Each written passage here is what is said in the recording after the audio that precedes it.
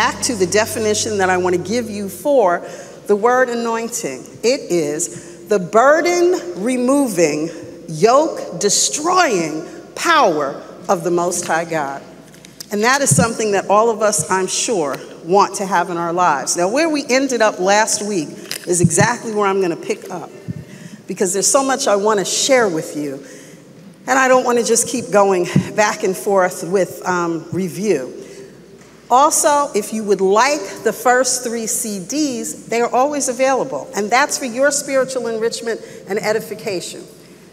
When we ended up last time, we looked at, and I'm going to have you turn back to Philippians 4 13. and this is the Apostle Paul writing to us in Philippians 4 13. Everyone pretty much knows uh, by heart this verse in the New King James Version or the King James Version, which says, I can do all things through Christ who strengthens me. We all pretty much know that and we're comfortable with that. I shared it with you out of the Amplified, and it says it this way I can do all things which He has called me to do through Him who strengthens and empowers me to fulfill His purpose. I am self sufficient in Christ's sufficiency. I am ready for anything and equal to anything, excuse me, through him who infuses me with inner strength and confident trust. In other words, it says, excuse me, okay, I can clear my throat. This is ridiculous. Okay, I can do all things through Christ, the anointed, and his anointing, which strengthens me. We talked about the importance of the qualifier in that verse of scripture. To say, okay, I can do all things through Christ that strengthens me, that's like saying I could get up here with our praise team and lead it. No, that's not where my anointing lies. So I could get up there and do it, but you would ask me real quickly to hurry up and sit down because that's not what I'm anointed to do. The qualifier in this statement is that we can do all th- things that He has called us to do, that He has anointed us to do. That's specifically what it's talking about. Now, many of us, and we talked about this last week, and I even gave you some of my own personal examples of my life, where everyone from time to time is growing through a storm. That we can pretty much count on. The big news, the great news, is that if you are a believer, you have everything available to you to win. And you should win. Now, we, because this is a time where, and I'm sure when you really stop and think about it, you can see this happening all around you. Things are changing. They're not like they used to be even five years ago, forget 10 years ago. Um, how many people remember when Home Depots became like something new? Like, you know, the Home Depot or Costco, you know, the big box stores they call them now. Does everybody kind of remember when they first kind of came on the horizon? Okay, now you all are gonna have to work with me. Because I'm not, you can already see he's trying to keep me from talking, but we know I win. So here's the point do you remember that? Yes or no? Raise your hand. Thank you. That's what I want. Okay, now, when they came on the scene, it affected a great change for a lot of people. Like, I used to be able to go into the hardware store, you know, say Stan was busy and I just wanted to have a little screw to fix something. I could go to my little local hardware store and ask the gentleman there, okay, I need to fix this. What do I need? He'd walk right over and give it to me. If I go to Home Depot, are you kidding me? First, I got to try to find somebody. If I'm blessed, somebody will appear. And hopefully, they're in the department that deals with the hardware and not the gardening department, okay? It changed, but it put a lot of people who have those wonderful small businesses out of business, okay? So, what were they supposed to do? Well, we're now living in a time when a lot of people are Companies are, I'll put it this way companies are downsizing. Like we already know that Amazon just bought Whole Foods. We know that all of the different phone companies are conglomerates and they all got together. Remember, there used to just be Ma Bell, everybody knew that. Now there are so many different phone companies, you don't even know which one to choose from. Everybody's merging. Well, what does that happen to the people who had those particular jobs? People are finding themselves now you know, at 50, 60, 65 years old, first of all, people used to retire and have retirement plans where they retired. They could live off of their retirement and everything was fine. They could sit on the front porch, drink their sweet tea and lemonade, and all was well. Now, you find people who are 75 going on 80 years old looking for work. And they're not looking for it just because they have nothing better to do with their time. They're looking for it because they need the income. We know that mothers used to be the people who stayed and worked at home. Notice I said worked, because being at home like my daughter puts it, the one with the three children, she goes to work to rest because to stay home with those three kids under four is no rest. The point being is, things are completely changing.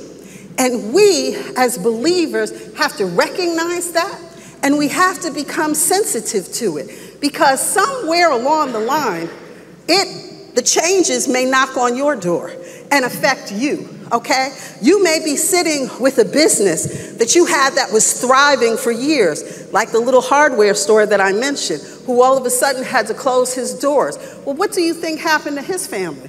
What was he supposed to do? Just go get a job at Home Depot? It's not quite the same thing.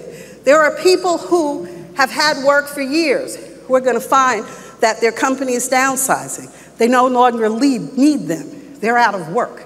If you're out of work, it says if man doesn't work, he doesn't eat. Well, what is he supposed to do? We now have to reinvent ourselves. That's what the world tells us, okay? Well, just go back to school.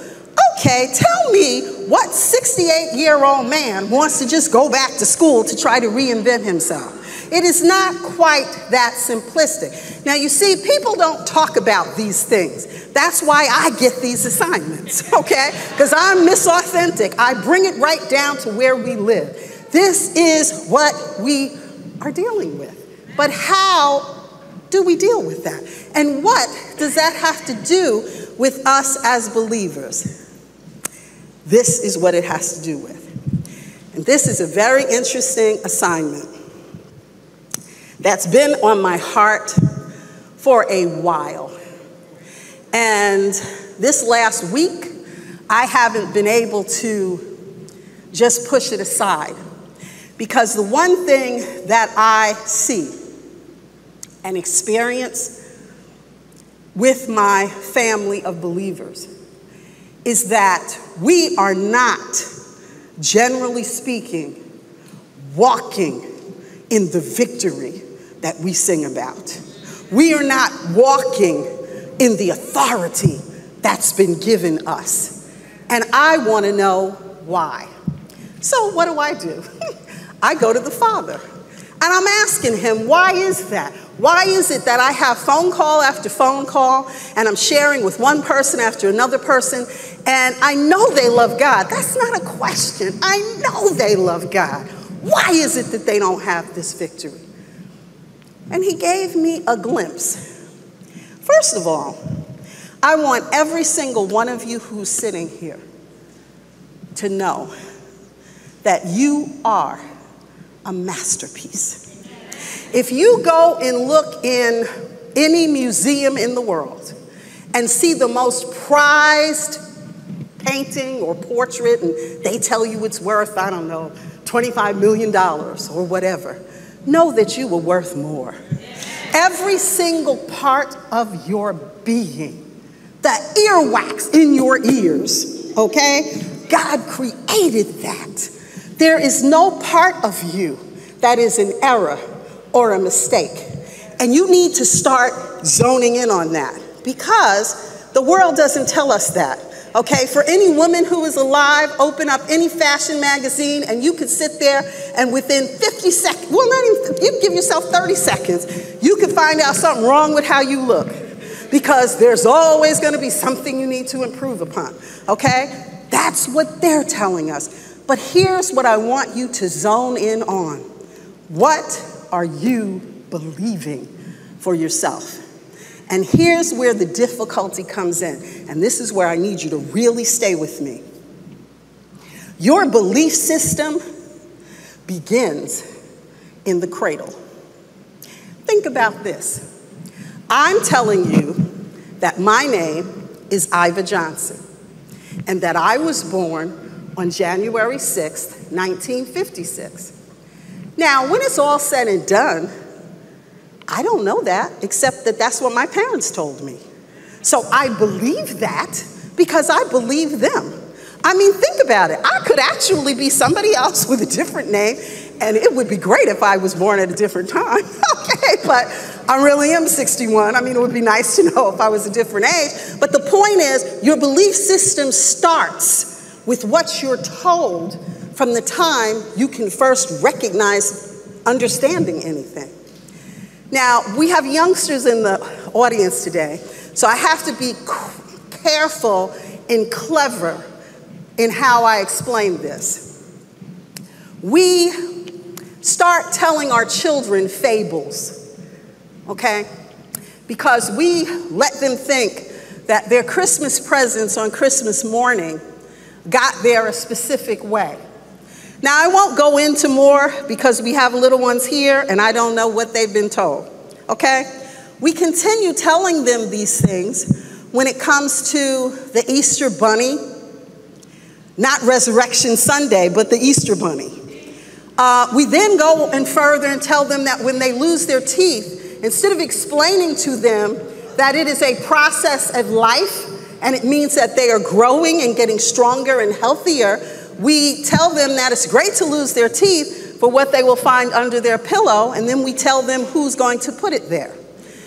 The point that I'm making to you is our belief system becomes tainted with these things. Because do these things line up with the Word of God? Can we take these things I just mentioned to you and put them in the Word of God and be able to prove them? We know that the Word is what? Truth. So when we do these things, now, I'm not beating you up if you did them. I'm just trying to share the point with you of how it affects your belief system. Now, you say, okay, that's fine, that's when I was a child. What does that mean now? When you think of Disneyland, do you think of submarines? No. When you think of Disneyland, you think of Mickey Mouse and Donald Duck and the characters of Disneyland, correct? What I submit to you is that many believers have gotten to the point that when they think of Jesus, they think of him as coming to church on Sunday, reading our Bibles. They think of him as a mere character. They don't grasp who he truly is, first and foremost. Second of all, and this is what I need you to get if you get nothing else, they don't grasp that they are truly joint heirs with Jesus Christ of Nazareth. Because the way in which we're programmed from little children with our belief system, we just see Jesus as this person and you know the pictures you saw growing up of what they told you Jesus looked like. Did Jesus really look like that according to the scripture? No, he did not. But that's what we were told. And for many of us, if we pay attention to our history, see, I'm not a big advocate of, like, I'm not calling Ancestry.com to find out who my ancestors were, because to be perfectly honest with you, I don't give a care. My ancestry is the fact that I am a descendant of Abraham. That's what I want to know. I don't really care if this person came from, that's just me. Now, if y'all want to get in, that's fine if that's what you want to do. But what I'm saying is, we need to be able to look around and every single person sitting here, I don't care their hue, I don't care what country they were born in. If they profess Jesus, they are your family. Period. That's it. That is the bottom line. But if you don't grasp that, not because it's cute and it's politically correct and it's a nice thing to say, but if you don't grasp it in your heart, I don't need to stand here and tell you anything about the anointing because you're going to think that just goes along with the character of Jesus and that's cute. And that's not what we're trying to do here. And I want you to think on this because It seems simplistic, but it's not because it is it affects your belief system. It affects everything that you believe moving forward. Your relationship with Jesus Christ of Nazareth. You are also a joint heir with the Most High God.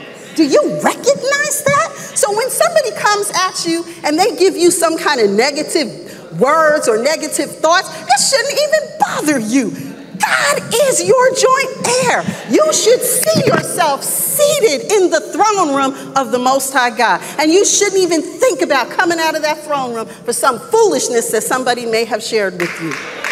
But you have to see that. You have to see that. I can't make you see it. Here's something else, and I want you to think of it this way.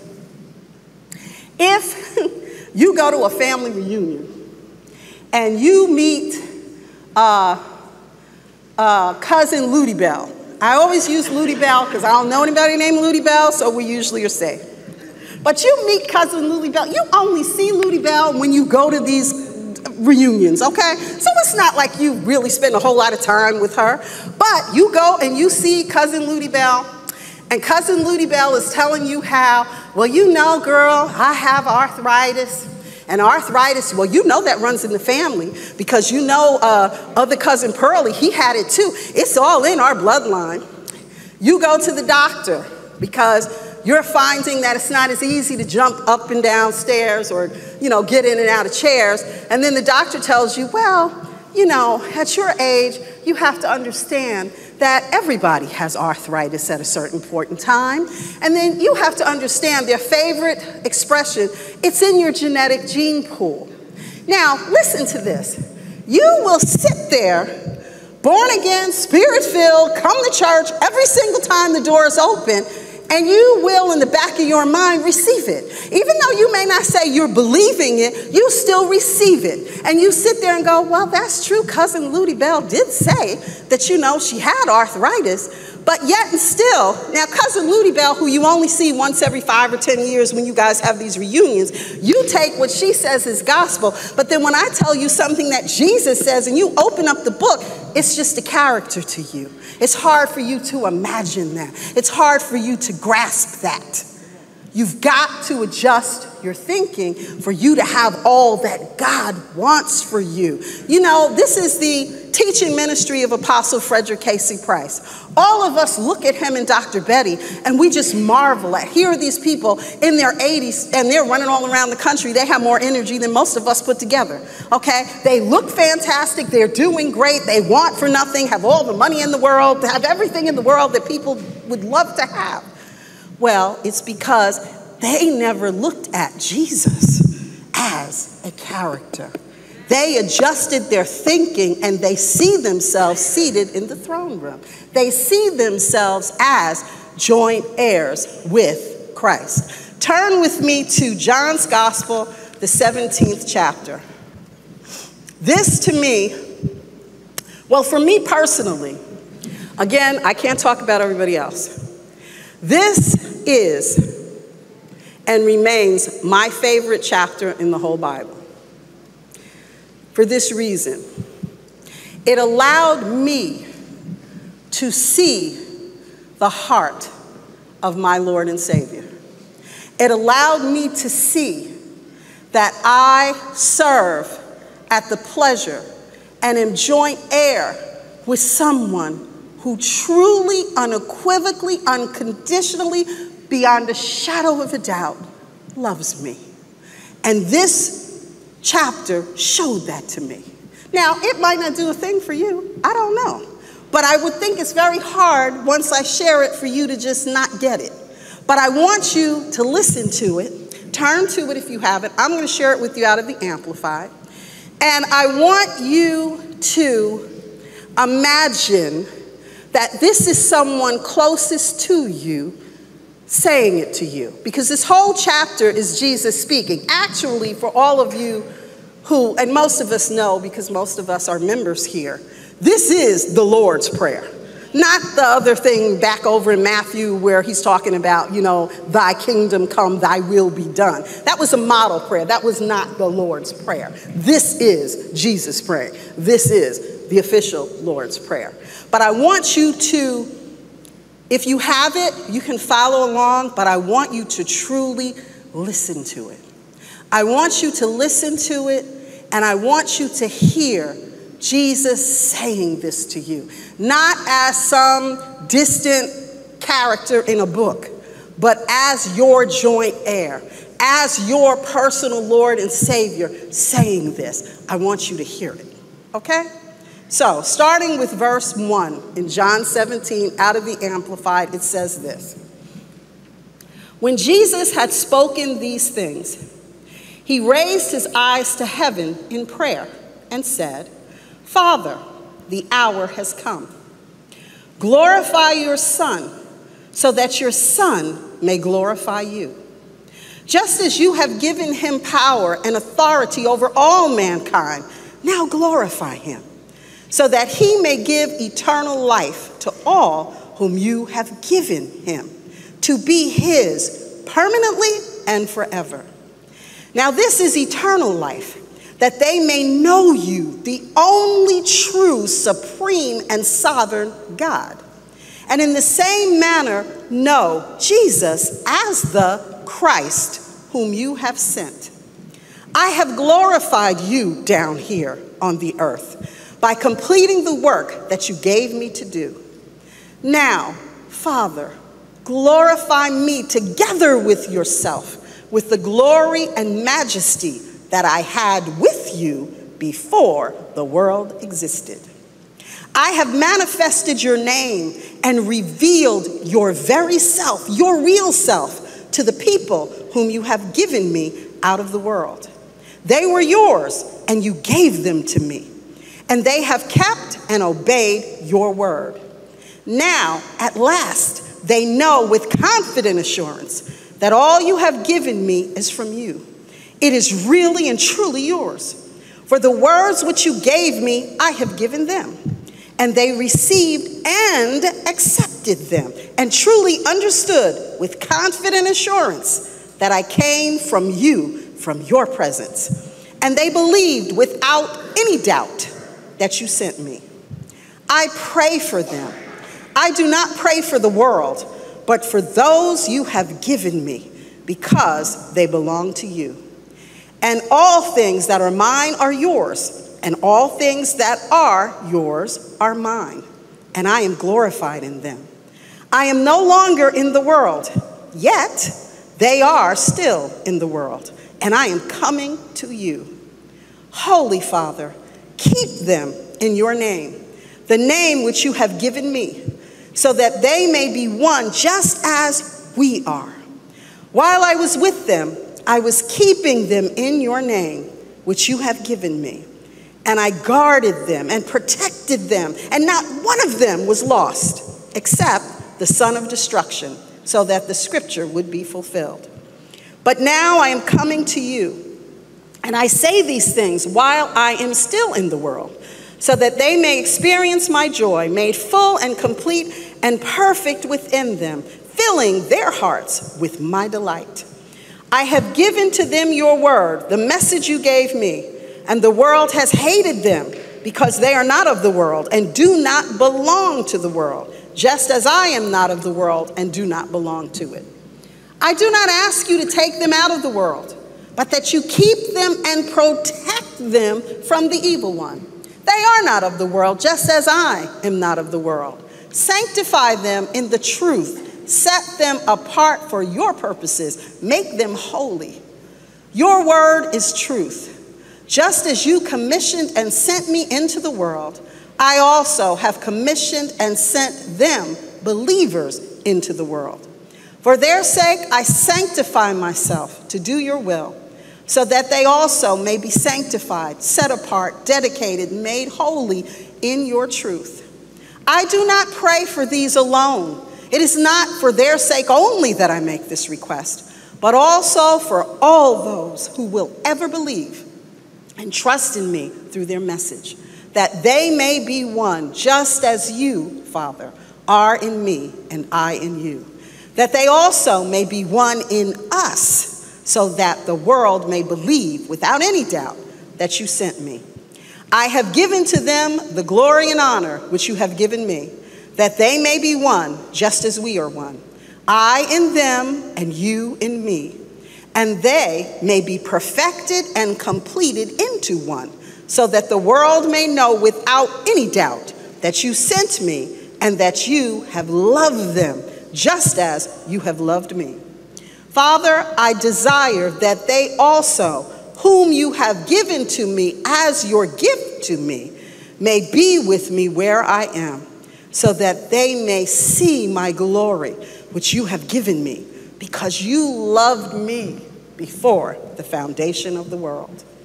O just and righteous Father, although the world has known you and has never acknowledged you, and the revelation of your mercy, yet I have always known you. And these believers know without any doubt that you sent me. And I have made your name known to them and will continue to make it known so that the love which you have loved me may be in them, overwhelming their heart, and I may be in them. Praise God. Praise the Lord. He truly, truly loves you. There is no question about that. He wants you to know that all through this, you heard him saying that we would be one with him and the Father. We are joint heirs.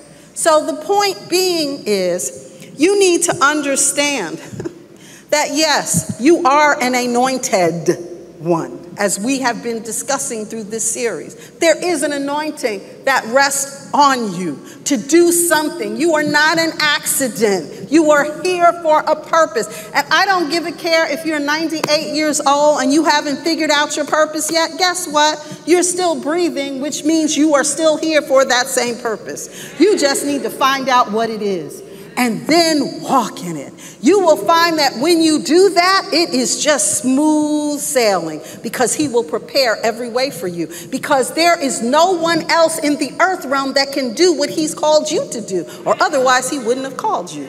You need to understand that. Remember that the anointing is the very power of God at work in whatever situation you are in.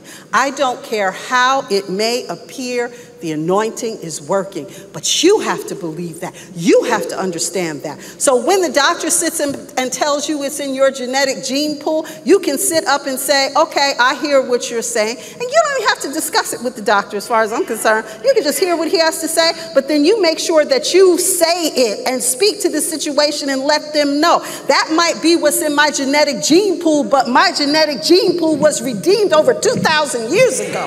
You need to be clear on that. And you need to say that and you need to speak to the situation. Don't just sit there like, okay. No, it's not okay.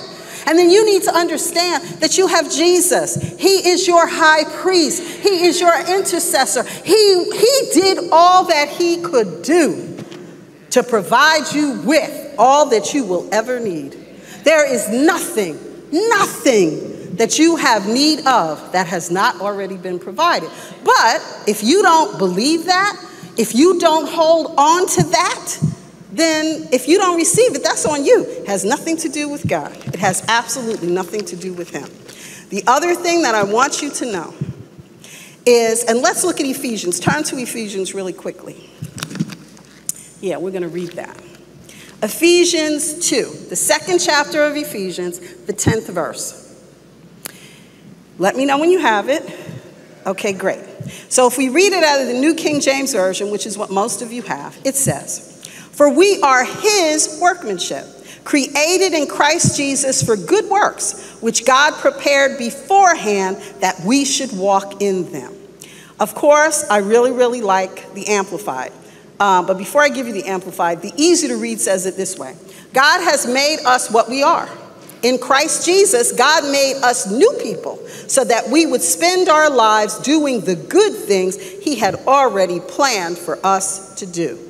Now, if you look at it in the Amplified, it says it this way For we are His workmanship, His own masterwork, a work of art created in Christ Jesus, reborn from above, spiritually transformed, renewed, ready to be used for good works, which God prepared for us beforehand, taking paths which He set, so that we may walk in them, living the good life which He prearranged and made ready for us. That right there confirms that He has a plan, that He's made it ready for us. All we have to do is walk in it.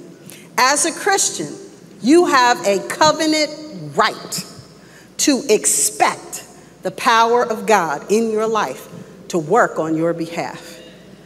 If you don't expect it, that's on you. It's there, it's available to you. In the midst of the storm, whatever the storm is, you can have peace because it's already been provided. You know, there was a contest, and I think I, I know I've shared this with you at some point, but it bears repeating. There was a contest of artists once, and there was a big money prize at the end. They had to um, paint a picture that symbolized peace. And whoever was the most effective, you know, the judges would say, okay, fine, and award them the prize. So you can imagine people painted beautiful sunrises and beautiful sunsets and all these glorious scenes of nature that you can imagine that you would, you know, we'd all consider peaceful. You know, a sleeping child, all these wonderful, peaceful things. Well, none of them won. And, you know, that seems surprising because the person who did win actually painted a horrific, tumultuous storm with dark clouds and everything just looked so just horrible. And there was this one pitiful little tree that was in the picture, and on this one little branch of the tree that was, it looked like it was blowing in the wind, sat a little bird. And the bird was just at peace. That's the one that won. Because that's the point. I don't care what your storm may be. I don't care how difficult it may look to you you can have peace. Because the bottom line is you know that the Father who created all that there is has made everything available to you to win. And if you aren't sure about that, now I'm going to turn you to one of my favorite scriptures, which is in John's Gospel. You should kind of be close to there because we just left there, really. Go to John's Gospel, the 16th chapter, and we're going to read verse 33. This is Jesus speaking. I love this.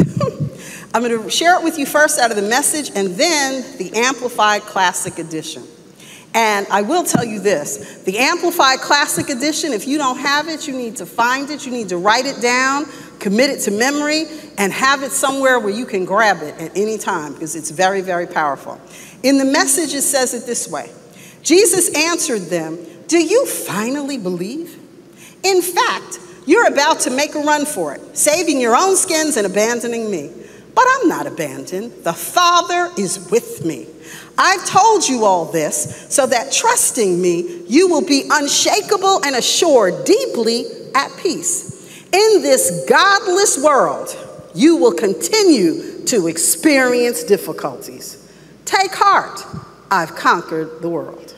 Now that says a lot, and that is wonderful. And you need to really think about the fact that, and this is something else that we don't think about. We don't recognize that we truly are his masterpiece, that he created every fiber of our existence. And I want you to know this.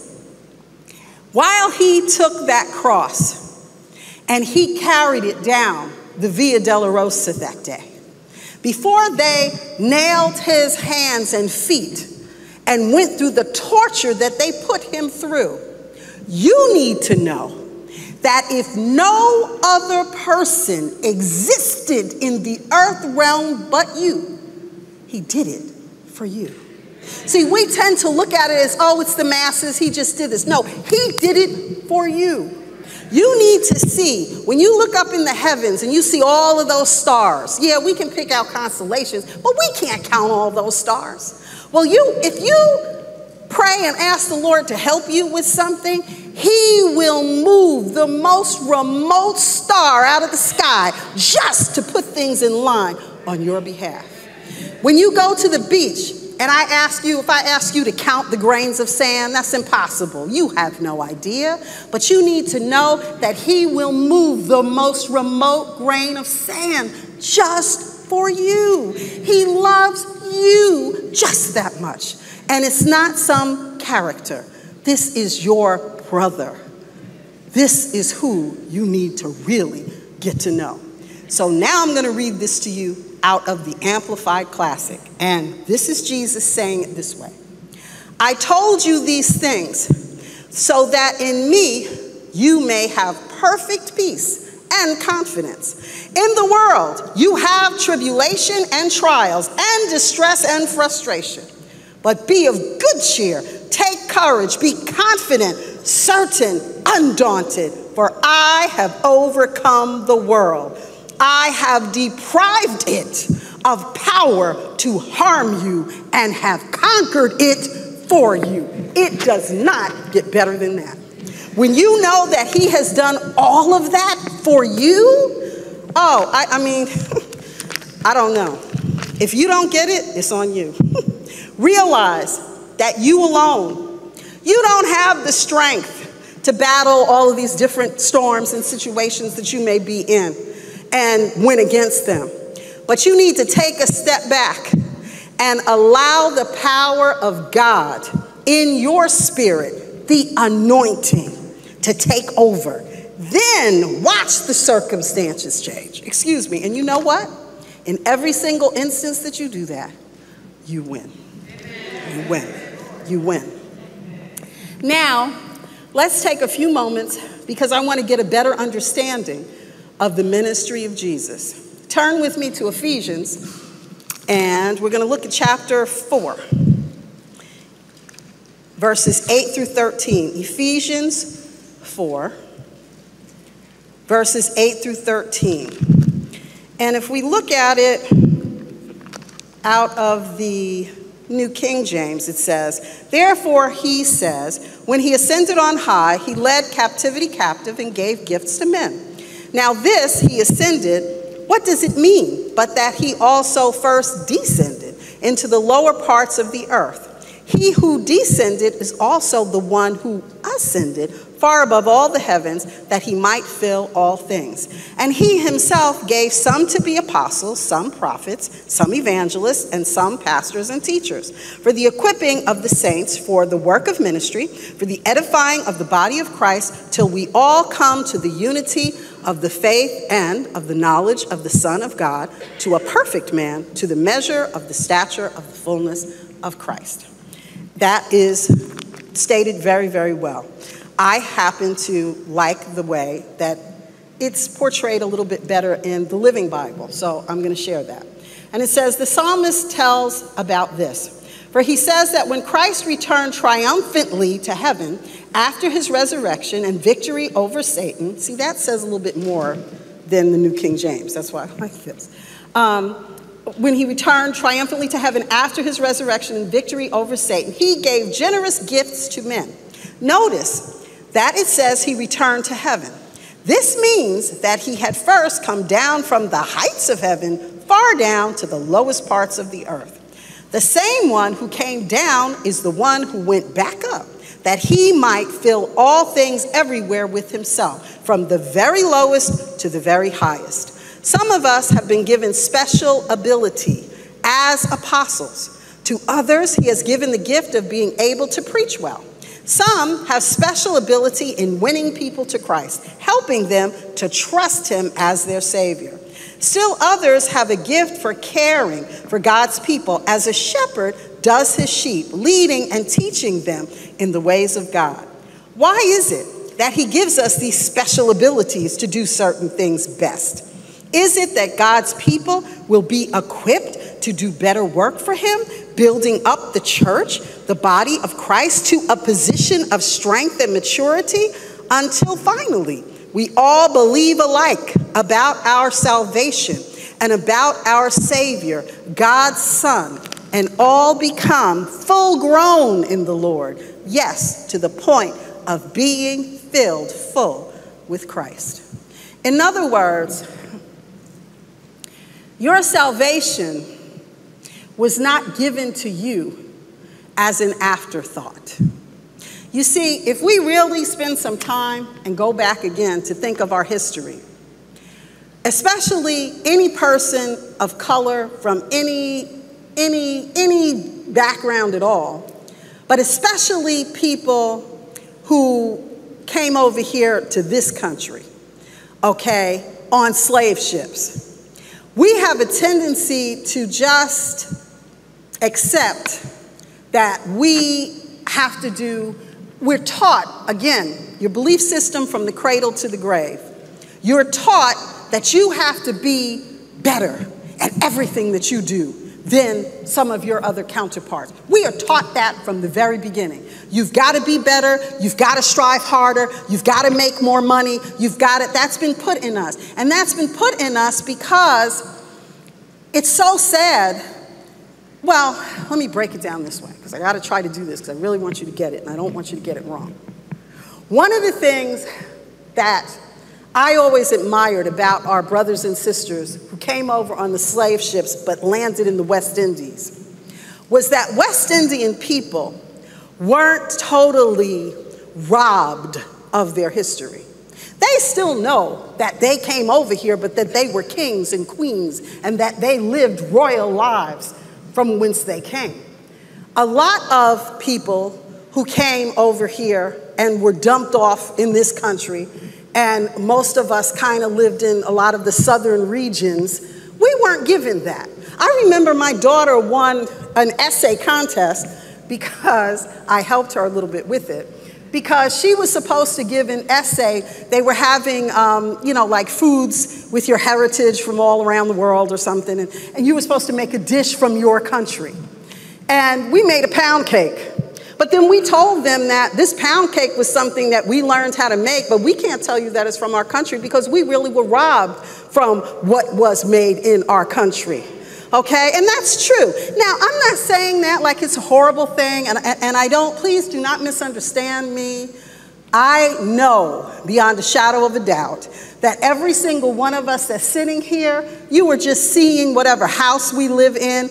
The true spirit of who we are, we do not see and we will not see until we receive our glorified bodies and we go and we live, you know, with the Lord. I get that. But what I am saying is because we are in this world, we have had to deal with certain things. And we have a tendency sometimes to just accept the scraps from the table. So, therefore, a lot of people look at their salvation like it was something that Jesus did for them too. You know, like you didn't get to sit at the full banquet and receive everything, but you can take the little crumbs off the table and that's okay. Well, no, it is not okay. That table was set for you. The same way it was set for the disciples, the same way it was set for anybody. But you have to go back to how you began to think from a child and receive it and not just look at it like you were some second class citizen and you just have to get whatever scraps are off the table. Now, I'm going to tell you something else. The time in which we're living right now, we are almost being forced to think like it used to be back in the 50s and 60s when we were coming home and I was a little girl looking, on, looking at TV and seeing them bring out the dogs and the fire hoses and all the rest of that. We see people around us dying and nothing is being done, nothing is being said, and it seems like, oh, it's okay. No, it is not okay. But here's the trick of the enemy on top of that. If he can get you to become desensitized to that, then he can also get you to become desensitized to your salvation and all the benefits that are in that salvation. And if he can get you to be desensitized to that, then you're never going to see yourself as a joint heir with Jesus or with the Most High God. And if he can do that, then he got, he has you right where he wants you. You will never have all that God has for you because you can't see it because you think you're just supposed to accept and receive and be comfortable with whatever you're going to get from the master's table. And by and by, when it's all said and done, you get to have your mansion in the sky. That is not what the word says. And I need you to see that because I don't give a care if we bring the apostle up here to teach, Pastor Fred up here to teach, Baltimore up here to teach. You can bring whomever you want up here to teach. If you don't know who you are in Christ Jesus, it's all for naught. It is all for naught. I want you to get that. I pray that you get that because I want all of us to have all that God wants for us. He wants us during this time, and you have to admit, we need the anointing during this time that we are living in because there are things going on that I'm telling you I would have never imagined to see. Okay? We have got to know like we know our name, even better than we know our name. We've got to know that we are joint heirs. And if we know that, then we can accept and receive the anointing placed upon our lives. Then we can begin to better understand it, and then we can know no matter what, we can get up every single day of our life and know that we win. Praise God. Well, guess what? I ran out of time. so we'll have to continue this. Praise God. Thanks for joining us. Our hope is that you received something that you can apply to your life and strengthen your faith. At Crenshaw Christian Center, New York, we believe that the Word of God is practical for everyday application. If you'd like to support the ministry with your tithe and offering, you can mail them to Crenshaw Christian Center, New York, 450 7th Avenue, Suite 2111, New York, New York 10123. We also offer the convenience of mobile and online giving. It's safe and secure. Try it now. From your smartphone, simply text EASTG to 28950 and follow the prompts. You can even specify a designation for your gift. Text EASTG for general donation, EAST-T for tithe, East O for offering, or East AL to donate to the Apostles' Library. Each transaction needs to be its own individual text message. You can also visit our website, CrenshawChristianCenterEast.org, and click the Give tab to begin your experience. Set up recurring donations or give one-time gifts. This giving method is easy to use, safe and secure, and requires a one-time registration only. After your first gift, giving will be completely simple. Simply text To 28950 with your information securely stored. We appreciate your continued support and stand in agreement with you for the manifold return on your life. Thanks again for watching, and remember, we walk by faith, not by sight. We would like you, our viewers and partners, to join us in honoring the legacy of the Apostle by making a donation to the Apostle Frederick K.C. Price Library. The library will be on the grounds of the Faith Dome in Los Angeles, California, and it will be open to the public. It will be a place of study, learning, and research, available for anyone desiring to further their knowledge and understanding of the Christian faith. Visitors will also have a chance to learn more about our founder and his impact on the body of Christ and the world at large. You can mail your donations to Crenshaw Christian Center, New York, 450 7th Avenue, Suite 2111, New York, New York 10123. If you are giving by check, be sure to designate in the memo area Apostles Library if you have Crenshaw Christian Center envelopes, you can mark AL on the envelope. You can also donate via your smartphone by texting EAST AL to 28950 and follow the prompts. We thank you in advance for your support. And as always, we stand in agreement for the manifold return in your life.